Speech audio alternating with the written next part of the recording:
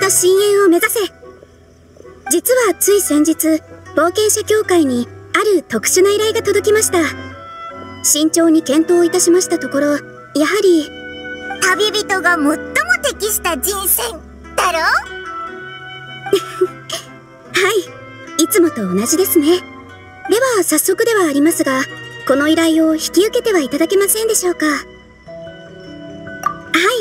では、簡単に説明いたしますね。本件は、シャブ業からの依頼になります。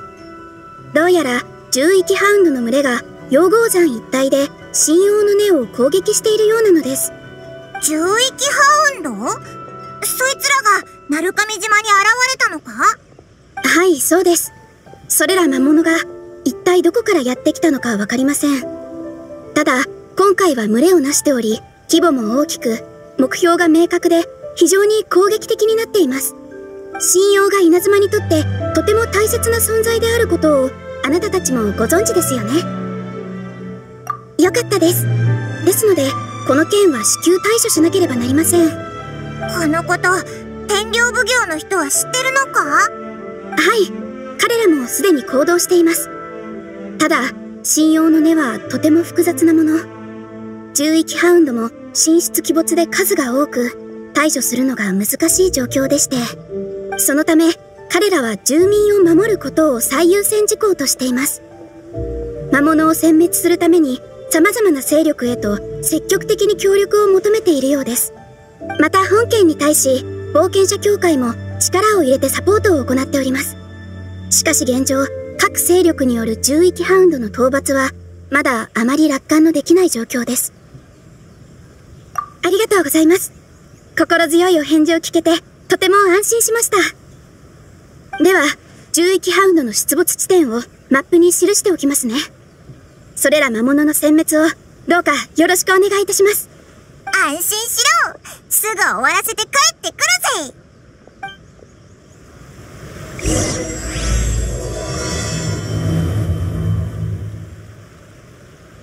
まさか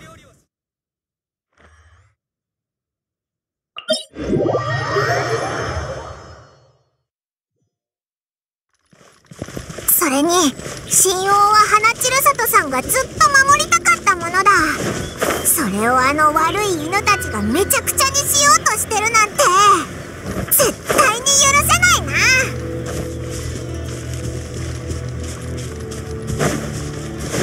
神王を攻撃してるぞ。早くあいつらをやっつけよう。裁きの雷ふっふっ。せよいけほふ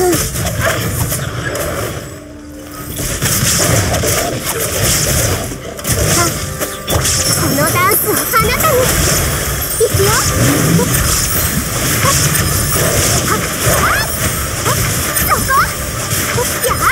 見切りました。タッせっイェッよ頑張るよそ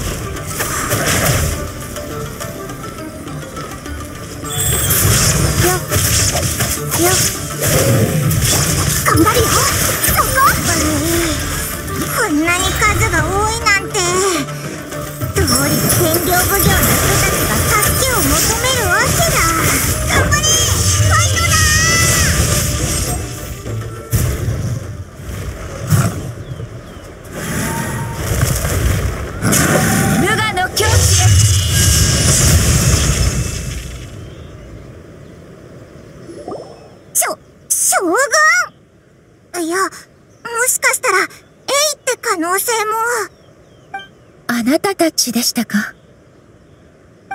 えば、天領奉行内部の混乱を解決して以来、随分と長く会っていませんでしたね。その口調、エイか？一撃でやっつけるなんて、つ、強いとある用事のため、その最初の準備をしていたのです。以前あなたと一緒に稲妻を散策した時、今の人々の状況を目の当たりにしました。そのおかげで、昔はわからなかった道理を、ある程度理解することができました。それ以来、考え事に行き詰まると、心ともなく外に出てみたくなるようになったのです。そうだよな。ずっと同じところにいたら息が詰まっちゃうし。念のため言っておきますが、これは決して娯楽目的ではありません。ここ最近、私は一身浄土のうちより外界で起きている変化を見てきました。とりわけ、最も深刻なのが、獣域ハウンドが神王に対して攻撃を行っていることです。これについて私は十分に注意を払うべき一件だと考えました。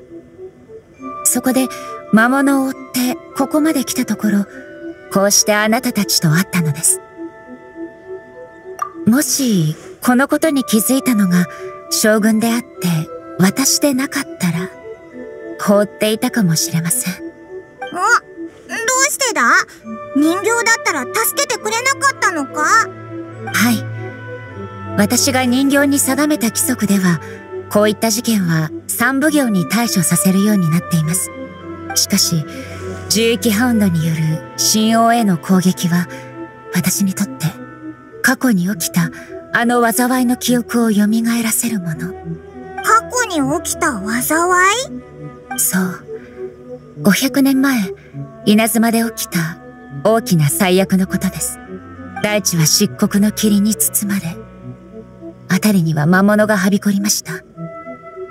この最悪のせいで無数の命が奪われ、人々が苦労して建てた家々も、そのほとんどが瓦礫へと変わり果ててしまった。魔物は稲妻の地で数々の猛威を振るいました。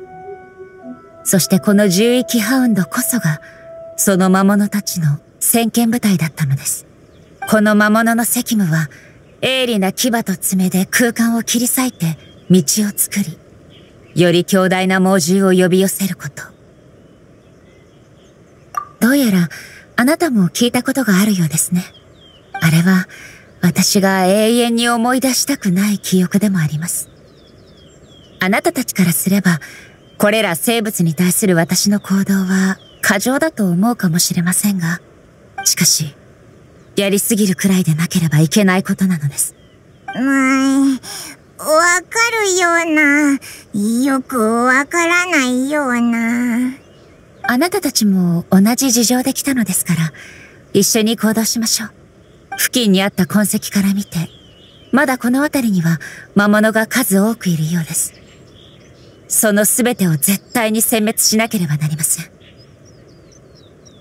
エイと一緒に行動できるのは、なんだかすごく安心感があるな。これが俗に言う、強者が一緒にいる時に味わえる優越感ってやつか？そうだ魔物を片付けたら、カーンルイヤのことについて聞いてみようぜ。この色、神王が傷ついた時の色に似てるぞ。こっちの方向だ。早く行ってみよう。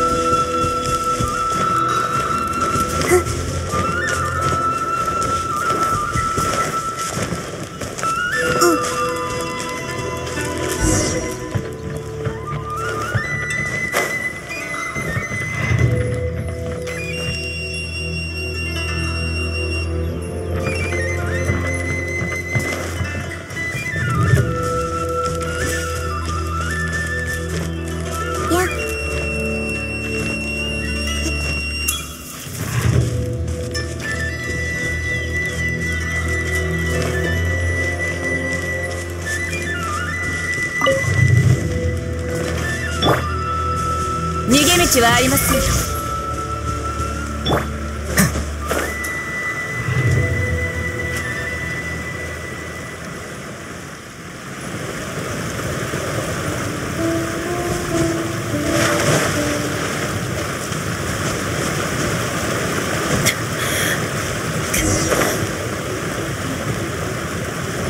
行くぞ。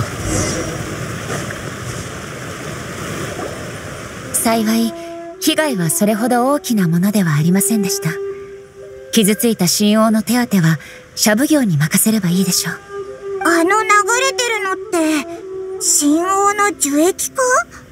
なんか光ってるけど。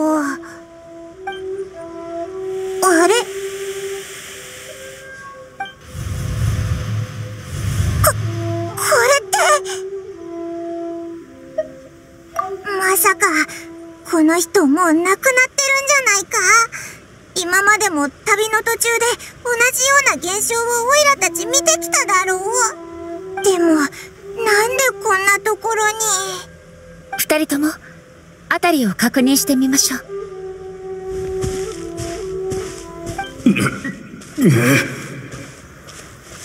俺はここで倒れるわけには。仲間たちのためにも。俺は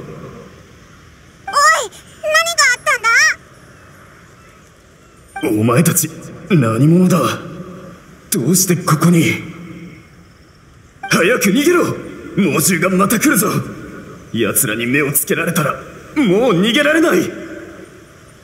俺たちは稲妻を守り最後まで戦い抜かねば！何？知らないのか？稲妻はもう暗き闇に覆われてしまったんだ。辺りには猛獣が溢れ返っている。それだけじゃない。もっと凶悪な魔物もいるようだ。奴らには感情がなくただ全てを飲み込もうとしている。俺たち人間が存在した証もおそらく奴らに食らい尽くされてしまうだろう。でも、周りには何もないぞ。まだその時じゃないってだけだ。奴らは必ず戻ってくる。だから早く逃げろ。もう時間がない。今は将軍様も狐西宮様もいらっしゃらない。頼れるのは自分たちだけだ。俺たちがあとどれぐらい持ちこたえられるか俺にもわからない。だがもし希望までも捨ててしまえばそれこそ本当に何も残らないだろう。慌てることはありません。私はここにいますよ。しょ将軍様お帰りになられてたんですね。お願いします。どうか我々を助けてください。どうか稲妻をお救いください。あなた様の無情なる来光がなければこの暗闇を払いのけることはできませんこのままでは稲妻全部が猛獣の餌食となってしまいます。落ち着いてください。もうあの戦争は終わっています。終わった？え一体何をおっしゃって？辺りをよく見ればわかります。草木は生い茂り風も至極穏やかです。あなたの記憶にある平和な稲妻と何ら変わりないはずですよ。魔物もおらず命を脅かすものもありません。確かに。しかし一体どうして奴らはさっきまで近くにいたのに。つい先ほど私はこの目で見たんです。戦友たちの体が紙のように引き裂かれる姿を。おい、落ち着けって。もう大丈夫だああ。そうか。将軍様が稲妻を救ってくださったのですね。将軍様を信じることはやはり最も正しい選択でした。将軍様がいる限り稲妻は永遠に安泰でしょう。ありがとうございます将軍様。本当にありがとうございますど、どうしたんだよはいもう消えてしまいましたおいら、何が起きたのかよくわからなかったけど。でも、なんだかすごく悲しくて、絶望的な状況だったみたいだ。私の考えが正しければ、先ほどの一幕は、とある物資がこの地に残した記憶でしょう。神王は地脈から汚れを吸い取って浄化することができます。ハウンドに襲われた樹幹の傷から汚れが漏れ出し、凝集して実体になったのでしょう。もし集まったのが凄まじい汚れであれば、形成された個体は強い攻撃性を持ちます。そして、その汚れが浄化された時、記憶となってそこに現れるのです。浄化された汚れはすぐに散逸し、再び地脈へと溶けていきます。言い換えれば、彼らは長く存在することができません。つまり、過去に亡くなった人たちの記憶が今ここに現れたってことか？その通り。あの兵士も数多くの犠牲者の一人であり、彼が言っていたことこそ500年前に稲妻で起きた災いなのです。はい。当時稲妻は数々の危機に直面していました。それは本土に関することもあれば、すでに滅びた王国、カーン・ルイヤに関することもありました。稲妻の災いは、私にとって決して感化できるものではありませんでした。すぐにでも私が介入しなければ、その災いは、テイワット全土へと広がってしまう可能性さえあったのです。ただ、私の友人である狐西宮は、私にこう言いました。周りにある力のすべてをもって、稲妻を守る責務を担い、私の不安を取り除くと、誰も口にはしませんでしたが、私も彼女も分かっていました。その先にあるのが、茨の道であることを。えっと、それって、カン・ルイヤに災いが起こった時、稲妻も襲われてたってことか？はい。無数の魔物が突如稲妻に現れたのです。狐西宮は人々を守るため、自らの命を捧げました。私は彼女の最後を見届けることはできませんでした。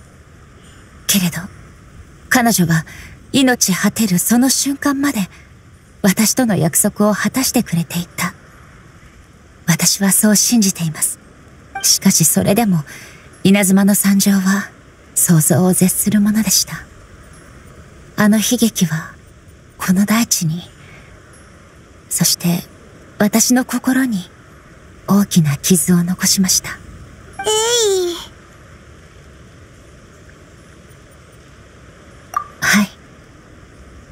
失ったものがもたらす苦痛を私は直視することができませんでした。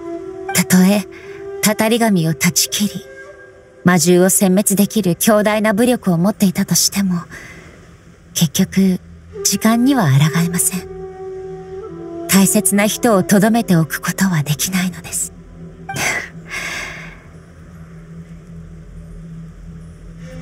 しかし、人間の願いを目にしてからは、私も色々と考えました。いつまでも過去に囚われてばかりいるわけにはいきません。以前、あなたと一緒に稲妻を散策した時、数百年にもわたる稲妻の進歩を、そして人々の可能性を見届けました。その全てが私の想像をはるかに上回るものでした。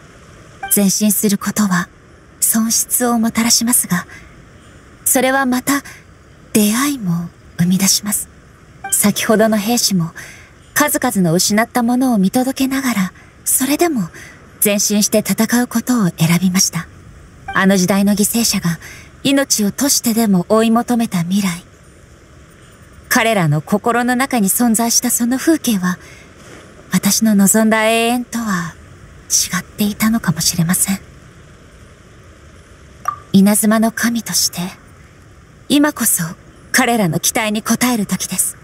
かつて、その血を流してきた兵士たち。その輝かしい魂は、この大地に眠っています。あなたたちの努力を忘れることはありません。エイの表情がすごく真剣だ。行きましょう。私たちはまだ被害を受けている信用を調査しなければなりません。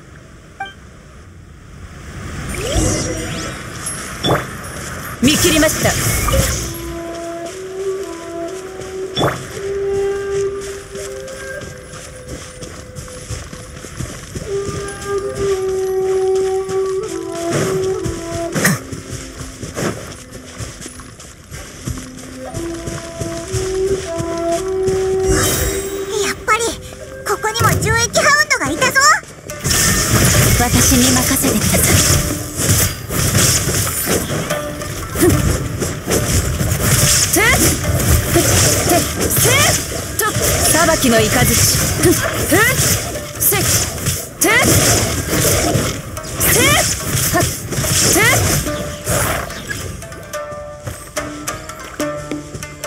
はったっ稲光すなわち永遠なり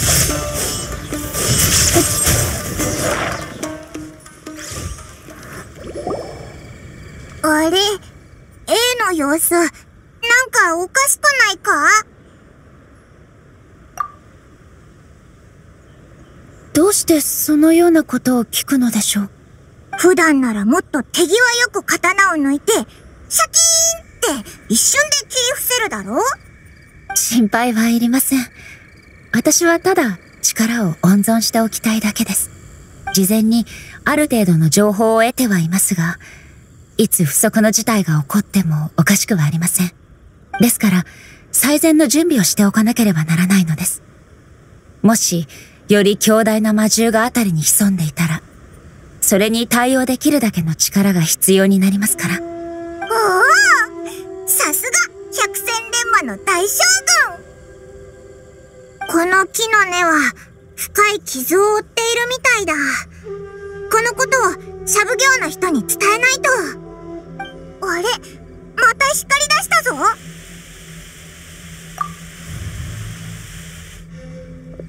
あなたは、古山？将軍様遠方の戦場へとお出向きになられたのではどうしてまたお帰りに？遠方の戦場？これも500年前の出来事なのか。私から紹介しましょう。この者は古山。かねてより私に付き従っていった茶人です。古山は目が見えませんが、常人をはるかに超える神秘を備えています。彼が入れたお茶は稲妻でも一二を争うものなんですよ。そんな恐れ多いこれはただ将軍様にずっと付き従って得得した特技に過ぎませんよところでお客人をお連れのようですがこのような状況ではおそらく皆さんにまともなお茶をお出しすることはできません。それでもよろしければこちらに座ってしばらくお休みになられませんか。何せ外はもう大混乱ですので。ななあ、おいらたち、どうしたらいいんだろう。えー、っと、そ、そうなんだよ。外はもう猛獣だらけで真っ暗なんだ。それに、怪我人もいっぱいいて。そうですかもうここまで攻めてきたのですね付近の住民はもうほとんど逃げました彼らはこの老骨も連れて行こうとしましたが私は意味がないと思いここに残ったのです将軍様がいらっしゃるのですから私が逃げる理由などありません。それにもしこれが将軍様ですらどうしようもないことだったとしたら一体どこに逃げればいいというのでしょう。逃げるのは生き延びるため生きたいと思うのはまだやり遂げていないことがあるため。しかし私にはあいにくそのような考えがありません。後悔や心残りもないのです。将軍様がお茶をたしなむ時いつも無双のことを私に話してくださいました。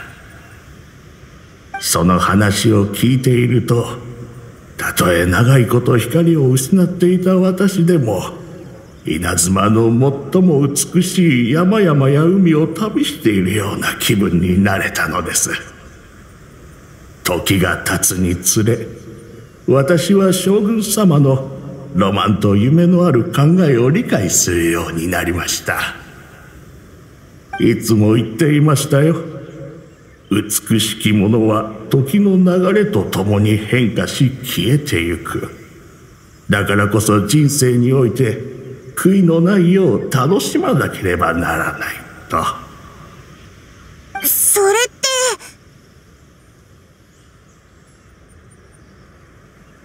私はすでに無数の美しき物事を見てきました。たとえ最悪の今であっても何の不満もありません。それも間違ってはいません。あと少しすれば私も将軍様にお別れを告げる時が来るでしょう。この災難の後将軍様の再建した稲妻を見れないのは本当に残念で仕方ありません。しかしそれでもいいのです。皆稲妻が闇に包まれたと言っていますが私の目には稲妻はずっと真っ暗だったんですから。災難が過ぎれば神聖が来たるもの。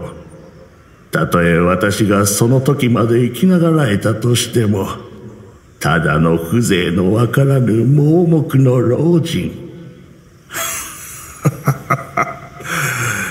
やはりこれ以上はやめておきましょ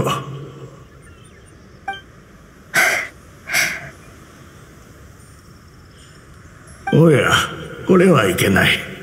自分の話ばかりしてお茶を出してもいませんでした。将軍様がいらっしゃったというのにお茶すら用意できていないとは。なんと失敬なことを。少々お待ちを。今すぐ。おや茶道具はどこに？もしや他の者がここを離れようとした時どこかにぶつけて割ってしまったのでしょうか。確かに茶道具はどこにもなさそうだな。やはりありませんか。いつもはすぐそばに置いてあるはずなんですが。いやはや将軍様と客人方にお恥ずかしいところを見せてしまいましたいえいえ客人に取りに行かせるなんてあまりにも礼儀を書いてしまっております。問題ありません。あなたはここで休んでいてください。私たちがすぐに取ってきますので。将軍様は直々に行かれるのですか？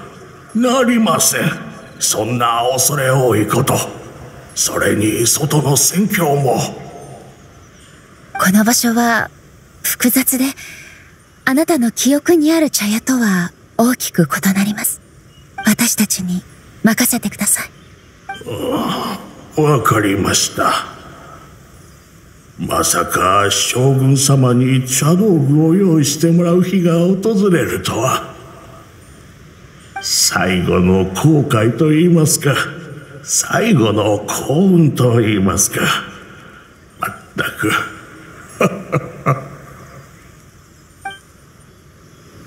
どこに行けば茶道具が見つかるんだろうな。お茶は飲めなくてもいいけどあの優しいおじいちゃんが500年前にいろんな悲しい目にあったと思うと胸が痛いな。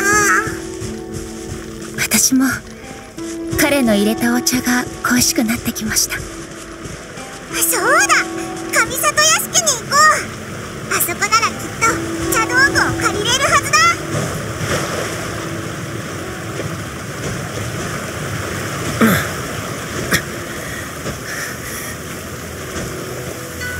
魔物は雨だからって休んだりしない。行くぞ。行くぞ。はっ。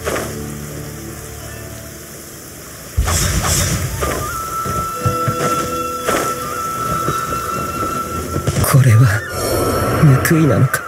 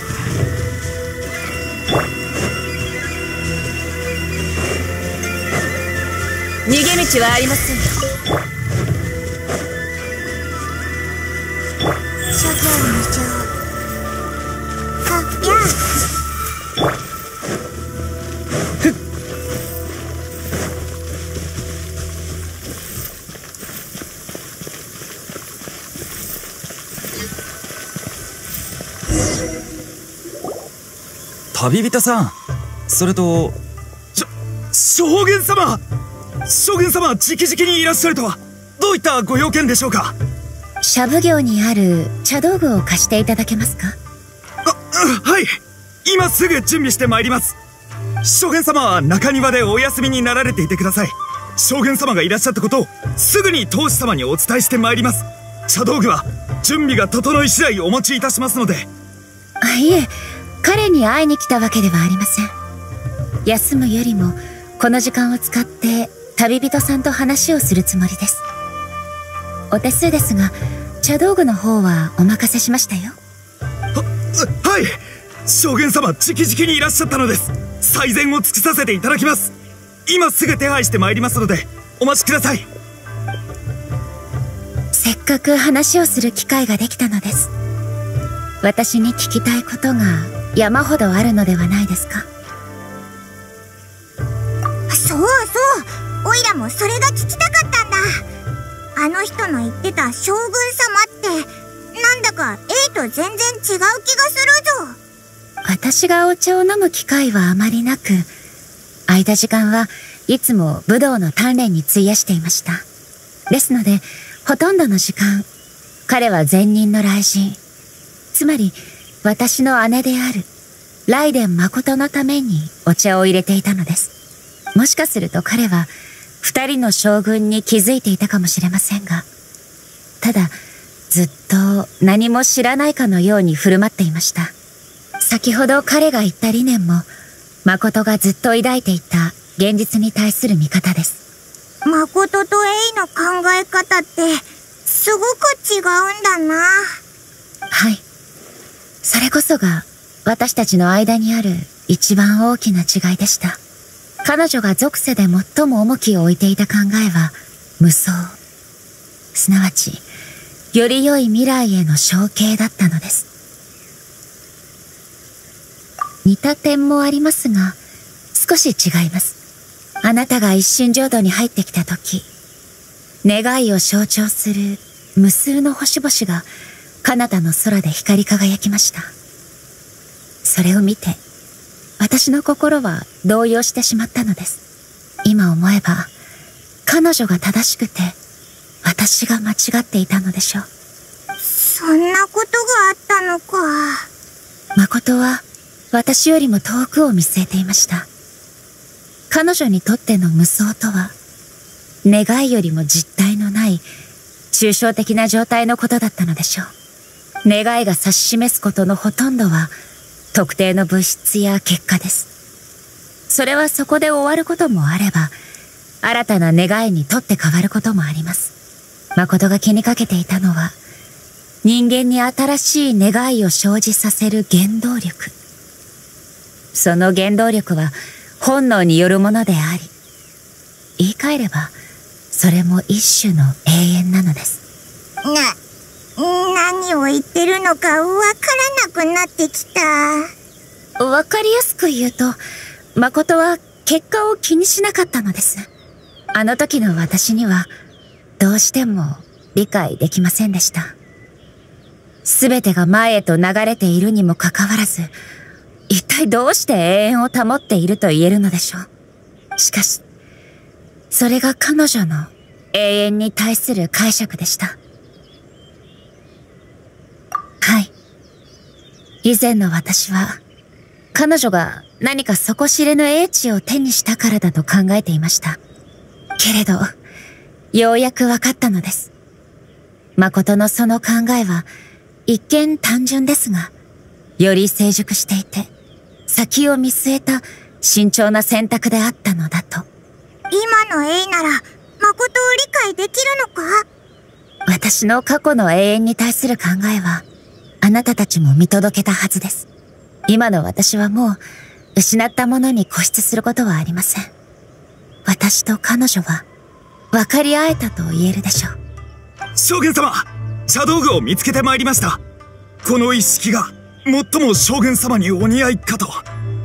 ええ、とても趣のある、良い品ですね。ありがとうございます。そ、そんな、将軍様からお礼を言われる日が来るなんて。将軍様は、実は話の通じるお方なんだぜ。二人とも戻りましょう。あまり古山を待たせてはいけませんからね。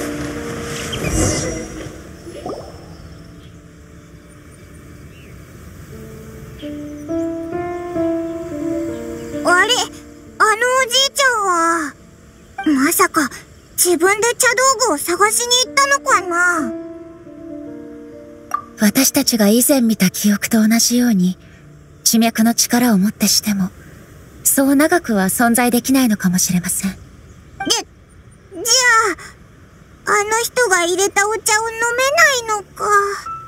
それに、さようならも言えてないぞ。う地脈の中にある情報は、あまりにも複雑で無秩序。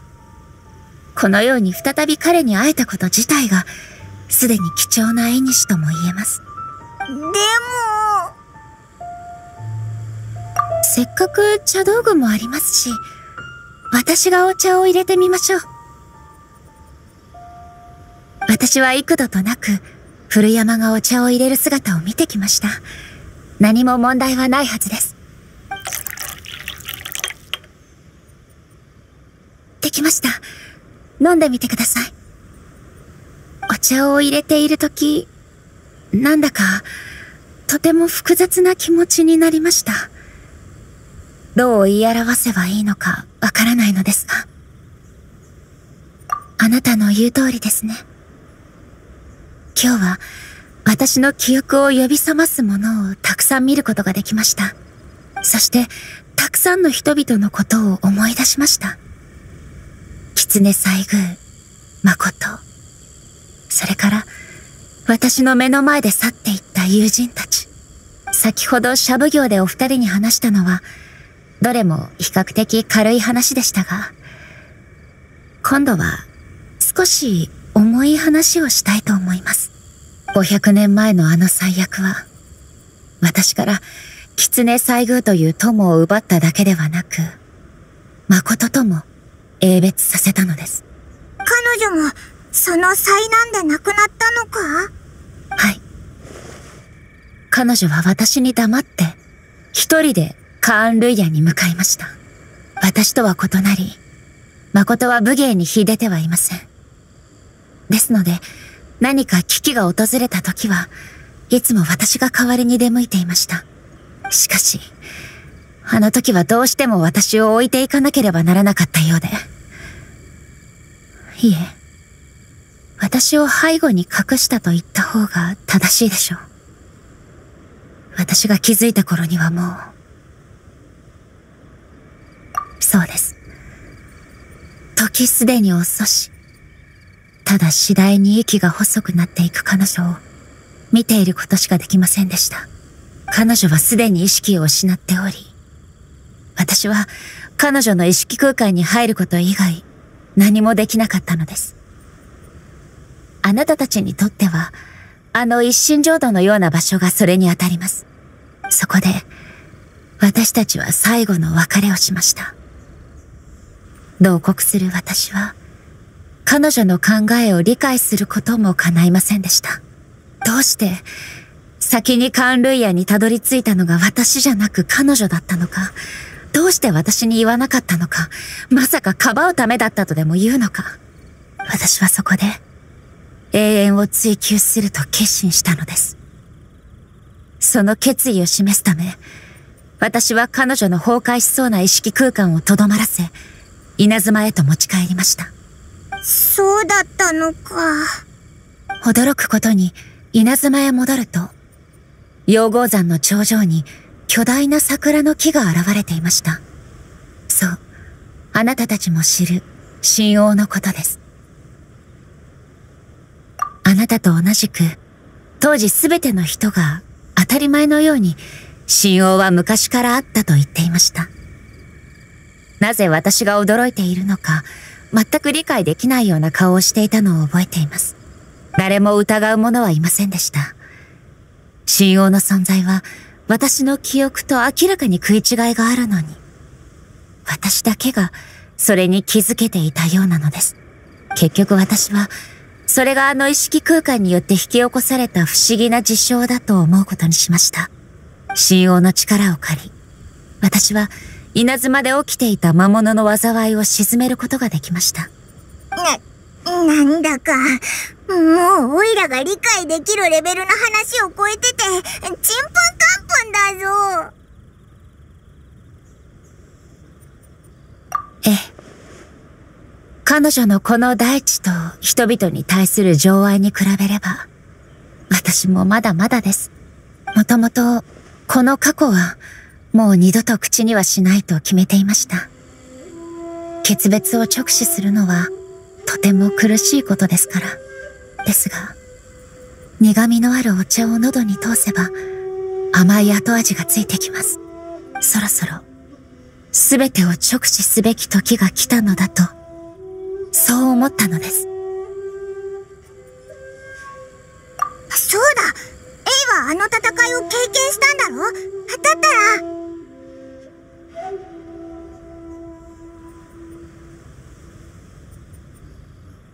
妹さん？そうですね。あなたが家族を探していることは聞いていましたが、まさか、その彼女も、カーン・ルイヤの災いと関係が？オイラたちが知る限りでは、どうやら関係してるみたいなんだ。すみません。私もその全てを直接見たわけではありません。あそこに着いた時、凄惨な戦いはすでに終わりを迎えていました。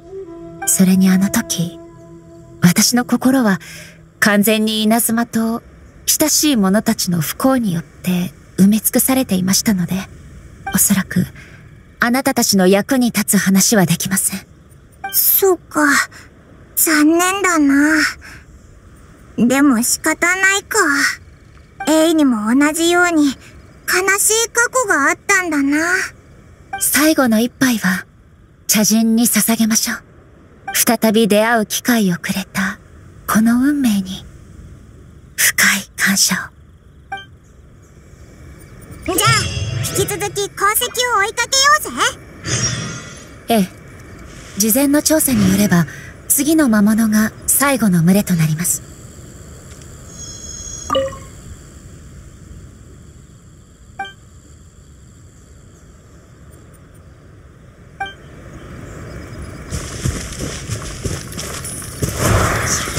裁きの雷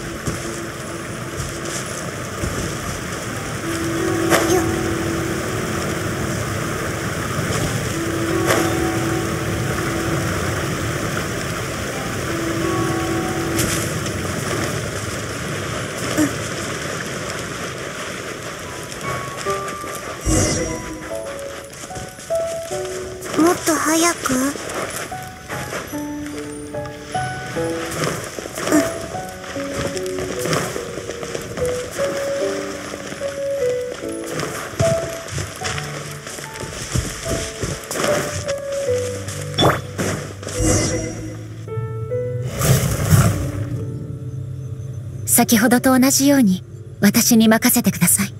おいおいほ本当に大丈夫なのか？オイラたちを脅かすなよ。大丈夫です。戦闘は私の最も得意とすることですので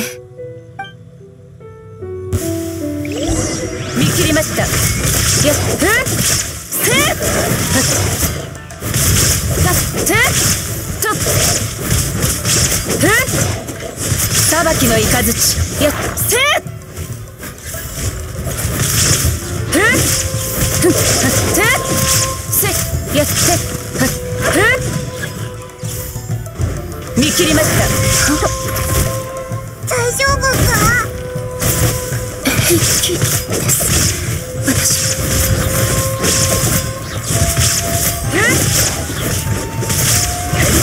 裁きの雷。無我の境地へやっひゅっ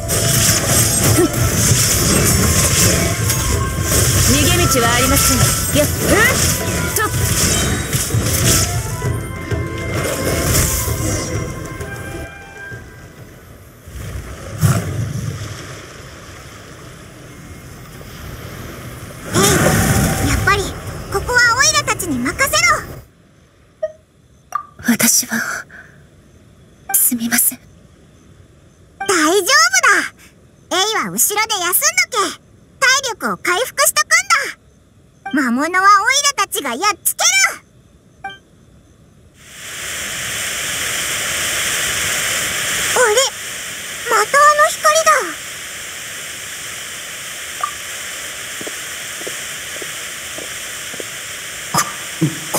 は一体それに君たちはな将軍様。将軍様まさか怪我をされているのですか？平気です。ただ体が思うように動かないだけで。我ら幕府武士必ずや将軍様を最後まで守り抜いてみせましょうまた魔物が攻めてきたぞ。いけません。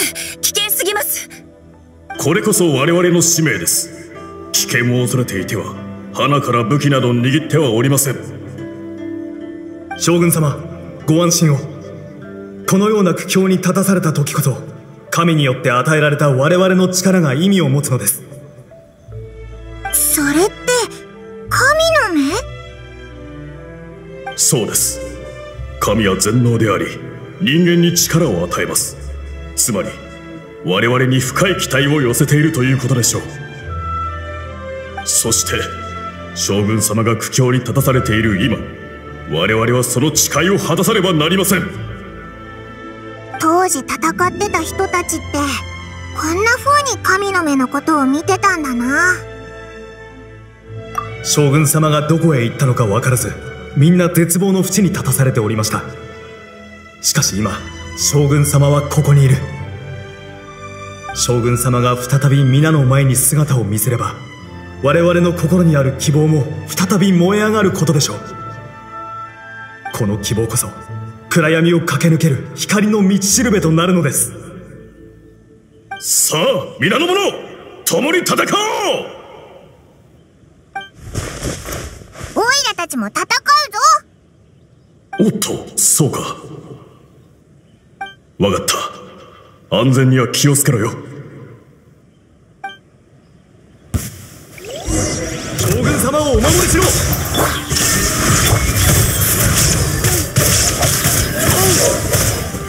もっとやはあ。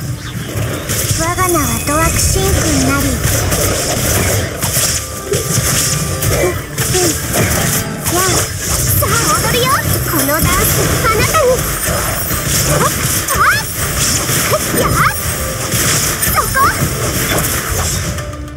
行くぞ。逃げ道はあり。無駄だ。うんいけやはっよ。っ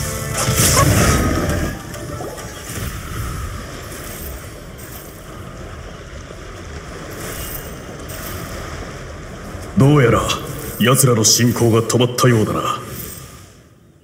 こんなにも激しい戦いを経験したのは初めてだ。ありがとうございます。俺、もう平気なのかまだ休んでてもいいんだぞ。問題ありません。少し良くなりました。見事な手際、感服いたしました。あれら魔物は必ずまたやってくるでしょう。その時はおそらく、獣域ハウンドのような小物だけではないはず。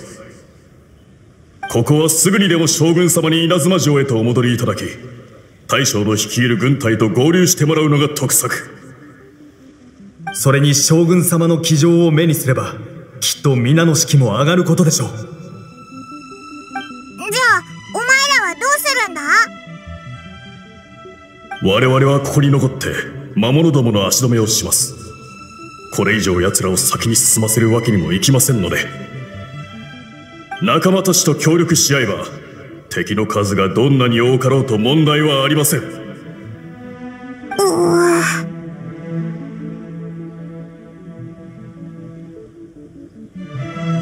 お任せください。戦うことこそ俺たちが最も得意とすることですから。将軍様は特別な存在。将軍様だけがこの絶望的な現状を覆し我々を未来へと導くことができる。稲妻がいかなる脅威にさらされようとも我々には将軍様を永遠に信じ続けるだけの理由があるのです。感謝いたします。あなたたちに誓いましょう。稲妻に明るい未来をもたらすこと。をその約束が果たされるのは少々遅れてしまいましたが少なくともこの瞬間からそれが守られることを保証します。将軍様のそのお言葉だけで我々はどんな困難にも立ち向かっていけます。きっとあなた様と共に稲妻が失ったものを全て取り戻してみせましょう。浄土開口せしは永遠なる鳴神なり浄土開口せしは永遠なる鳴神なり消えちゃったぞ彼らに対してであり、私に対してです。人々の犠牲は、私に計り知れないほどの苦痛をもたらしました。私は、彼らが自身の一切を燃やし尽くす姿と、光り輝く姿を無視していたのです。その結果、何百年もの間、彼らの意志をないがしろにしてしまいました。彼らに何を言っても意味はなく、彼らは地脈の中に漂う記憶に過ぎない。たとえそうだとしても、私は彼らに、今まで私を信じて疑わなかった人々に答えなければなりません。おいだ思うんだけどさ、思いに応えてくれたのが、たとえ何百年後だったとしても、それでも報われたんじゃないかな。慰めてくれるのですね。ありがとうございます。しかし、これはもとより稲妻の神がやるべきことです。私は行動するのが遅すぎました。先ほどの武士が言ったように、私は戦士の担うべきことを全て引き受けていればいいとだけ思っていました。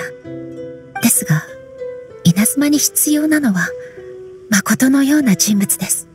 たとえ、私と誠が全く異なっていて、永遠に彼女のようにはなれないとしても、私のやるべきことは、彼女と同じであるべきなのです。ええ。強くて、たくましい、誇るべき存在です。人々に崇められるライデン将軍が、彼らの足を引っ張ってはいけませんね。おどうやら考えがまとまったみたいだな。稲妻には、新たな変化と可能性があります。しかし、それと同時に時間も必要なんです。過去が私たちに残した傷跡は、未来へと至る時間の中で癒されていくことでしょう。どれほど時間を費やすことになろうとも、私はやり遂げてみせます。これは、私自身が約束したことですから。獣域ハウンドを一掃した今、この件も解決へと向かうことでしょう。今のところ、奴らがこれ以上の脅威をもたらす気配はありません。原因の究明や、傷ついた神王の手当などについては、天領奉行か、社奉行の者に対応させます。おうじゃあ行こうぜ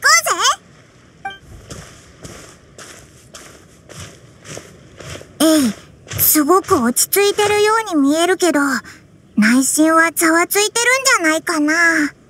なんかエイって、ここ最近ですごく変わったよな。おどうしたんだ、エイ。早く行こうぜ。